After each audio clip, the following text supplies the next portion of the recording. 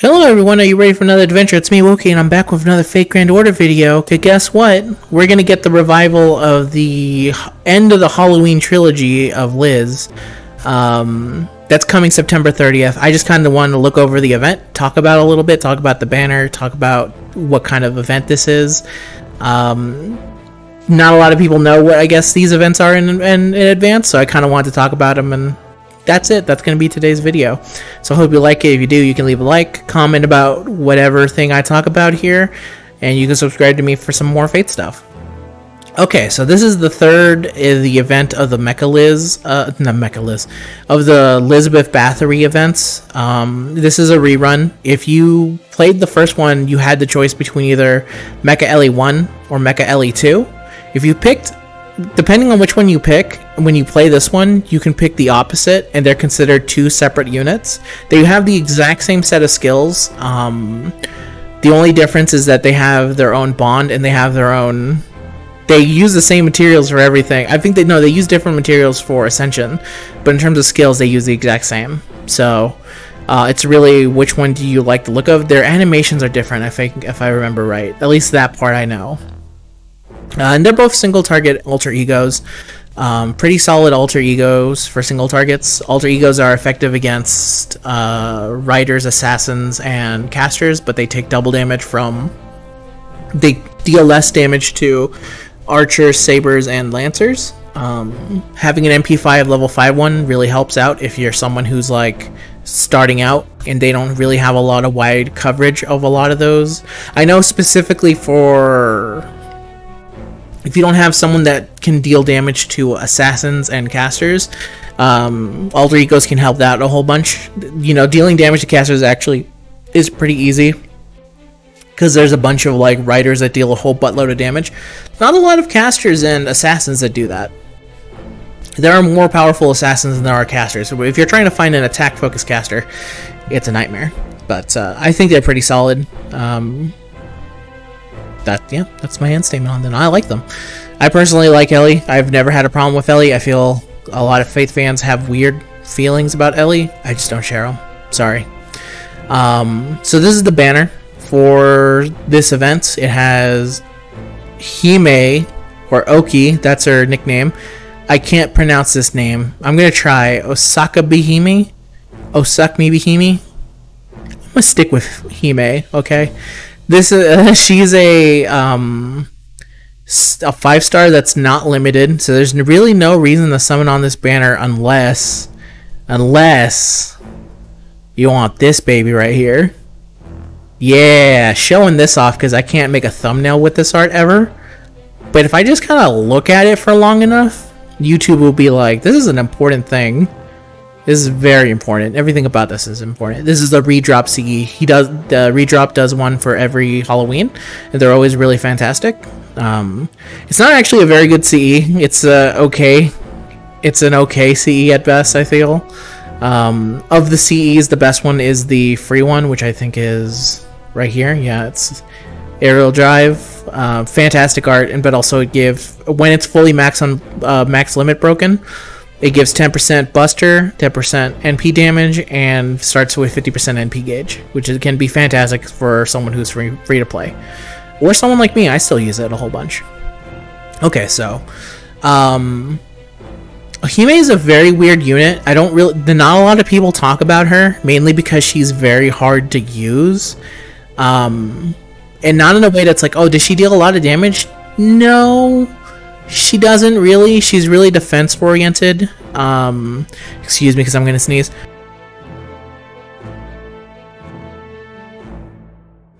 She's really defense oriented, but also her um, Noble Phantasm gives 30% um, quick up for overcharge. Um, if you get the overcharge higher, the you'll get more um, boost to the damage.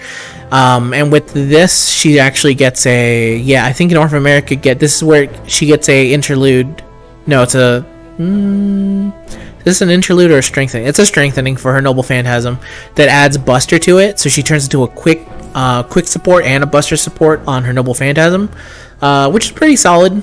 Uh, again, she's not like so good that it's the kind of unit that make people go like, "Oh my god, I need to drop everything" because she just completely breaks the meta. She's not really one of those kind of units, but she can have her place. You know, you have to be, you have to make a lot. You have to make a team that's really focused on what she wants to do, and you have to also not care about three turning, which there's a good percentage of people who don't care about three turning. Um, so she can be fun. She can definitely have her fun and she can be useful. Um, she's just not the most. She's not the support unit that's like so crazy top tier support. She's just a very very solid support once she gets all her uh, supports. That is. Um, at least that's my impression of her. I don't have her. She is not limited, so I could randomly pull her one day. Um, and maybe when that happens, I'll have more opinions on her. Right now, the only person I know that uses her a whole bunch is my friend Lerp. Um, and he's always kind of defended her to me whenever I've been like, "Doesn't she suck?" And he goes like, "Well, listen, no, she doesn't suck. Let me tell you why." Um, and so I, I kind of believe him. He's played enough of this game. He's he he was there on pretty close to launch of the game when it launched in Japan. Uh, let's look at the other units on this banner. We have Elizabeth Bathory, who is good to okay, depending on who you ask. I think she's pretty solid for an AoE Lancer unit. Um, specifically for females only. Uh, Carmilla can be a pretty good single target assassin if you don't have any of the better assassins. She can really be helpful if you're starting out, for sure. The assassin is Shinjuku. Um, he sucks. It's really unfortunate. I think he's had multiple buffs. Let me see. There's his name. His name is damn it, Quan Quan King. No. Go away video.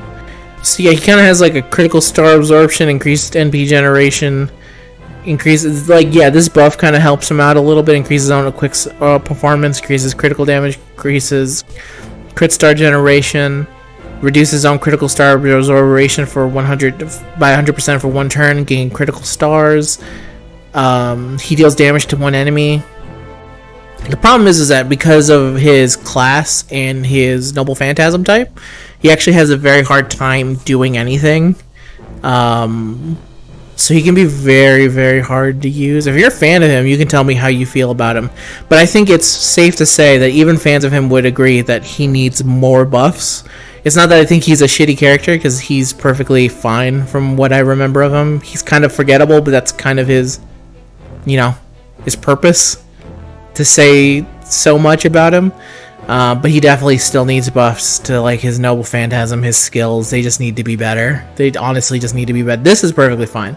They just need to be better. This was what it was at launch, which is just increased crit star generation for three turns, which is not good. Especially because it's only like what, 29%?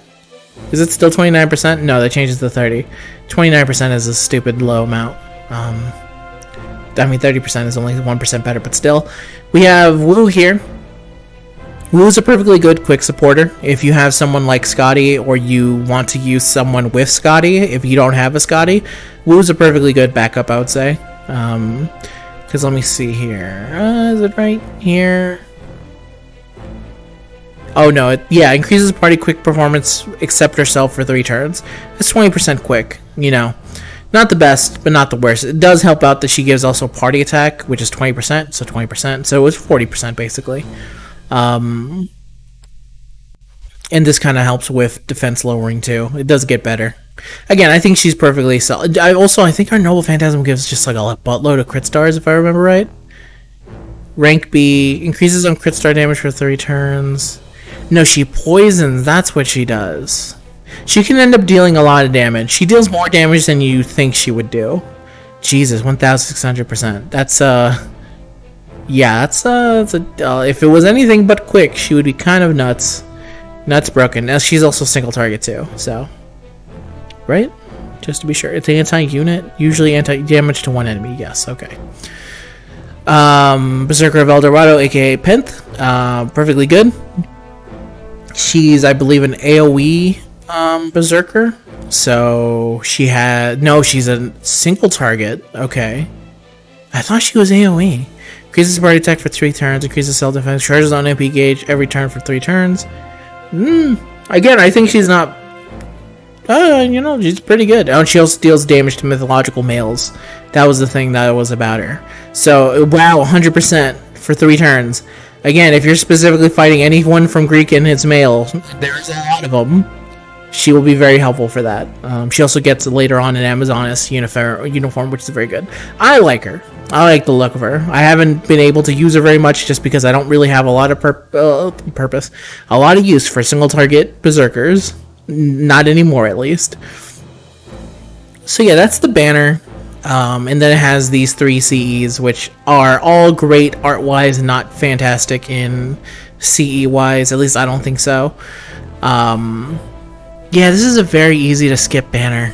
The only real reason to pull on it is one, you're a big fan of Hime, and you want to get her on a rate up. Basically, if you're a fan of any of these servants, this is a great banner for you. Um, but if you're just Joe Schmo, like, hey, should I summon on this?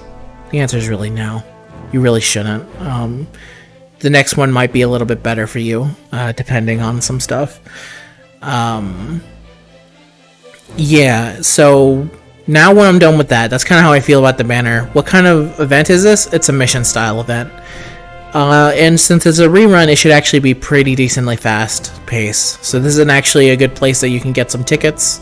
Let me see, one, two, three, Where's the third one? There should be at least five tickets here. Where are the tickets? Come on, don't make me look like a jerk. There you go, three. Oh man, do I need to sneeze again? I could have sworn it was five tickets. Well, mommy.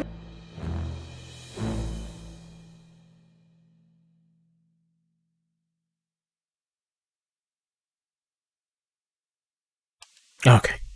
Man, I don't know why I'm so sneezy today. Maybe catching a cold. Um. So yeah, it's a mission style event. It's not too hard. Just follow it. It shouldn't be too bad because it's a rerun. Um, and for the event itself, I actually really like it. It's the end of a trilogy, so if this is your first one, it's not really going to make much sense. But it's fine. It's it's it's just good Halloween fun, basically. Um, it is also kind of weird that this one is kind of very so skippable. Just kind of because it's kind of like, oh, you have really great CE arts, and then your units are okay to good. They're so specific about who wants them. It's one of those like banners where it's like I can never see myself pulling on this, but if I love this character, I would love to have this last opportunity to pull them on a featured rate up, basically. Um, yeah, that's kind of the that's kind of the event in a nutshell. At least looking through this stuff. Oh, you know, I should show the event shop. This is what you can get in the event shop. You can get wine. You can get claws. Uh, I forget how to pronounce these. The magatamas. Um, what is it? Spirit roots, wild horse, the longo, and a lantern. The gummy drill can give you some horseshoes, war horse horn and chains, which is pretty good. And this is, of course, the reactor. Of course, you can choose between one of them. If you've done this before, you should know to pick the other one. If you this is your first time and you're picking one of them, they're the exact same units. It's only which one do you care more about. Um, Mecha Ellie 1 has a personality. Mecha Ellie 2 doesn't, but she's a cool looking robot. So remember that when you're picking people. Um, yeah, that's basically it. That's this event. Um, I look forward to no longer grinding for Lotto until at least Samba time, where I will continue grinding a Lotto, but for now, yeah, that's the event coming up. Um, I hope you liked this video. If you did, you can leave a like, comment about any of these servants I talked about. If you want to talk to me about Hime, if you're a big fan of Hime and you use her a whole bunch, tell me about it. I would love to hear some more about it from anyone besides Lorp, because I can't tell if Lorp just really loves Hime. It's it can sometimes feel like that is that he just really loves Hime, so he's gonna gladly defend her, and I believe him. But if you are also a fan of Hime, what does she need? Uh, stuff like that. Tell me about it. Um, and of course, you can subscribe to me for more Fate stuff. Uh, and uh, that's the end of today's video, everyone. I hope you liked it.